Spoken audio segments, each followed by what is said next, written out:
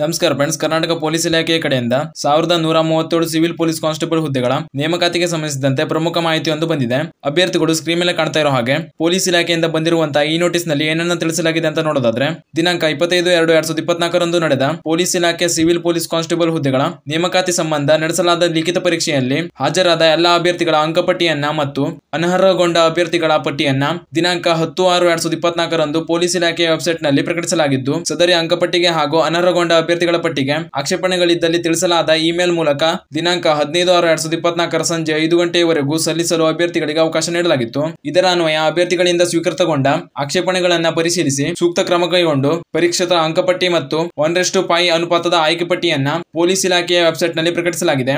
ಹಾಗೂ ಶೀಘ್ರದಲ್ಲಿಯೇ ಈ ಸಾವಿರದ ನೂರ ಮೂವತ್ತೇಳು ಸಿವಿಲ್ ಪೊಲೀಸ್ ಕಾನ್ಸ್ಟೇಬಲ್ ಹುದ್ದೆಗಳ ನೇಮಕಾತಿಗಾಗಿ ಅಧಿಸೂಚಿಸಲ್ಪಟ್ಟ ಘಟಕಗಳಿಂದ ದೈಹಿಕ ಪರೀಕ್ಷೆಯನ್ನ ನಡೆಸಲಾಗುವುದು ಅಂತ ಈ ನೋಟಿಸ್ ಮೂಲಕ ತಿಳಿಸಲಾಗಿದೆ. ಆದ್ದರಿಂದ ಪರೀಕ್ಷೆ ಬರೆದಿರುವಂತಹ ಎಲ್ಲಾ ಅಭ್ಯರ್ಥಿಗಳು ಪೊಲೀಸ್ ಇಲಾಖೆಯ ಕೆಎಸ್ಪಿ ಅಧಿಕೃತ ವೆಬ್ಸೈಟ್ಗೆ ಹೋಗಿ ನಿಮ್ಮ ಜಿಲ್ಲೆಯ ಆಯ್ಕೆ ಪಟ್ಟಿಯನ್ನ ಡೌನ್ಲೋಡ್ ಮಾಡಿ ನೋಡ್ಕೊಳ್ಳಿ.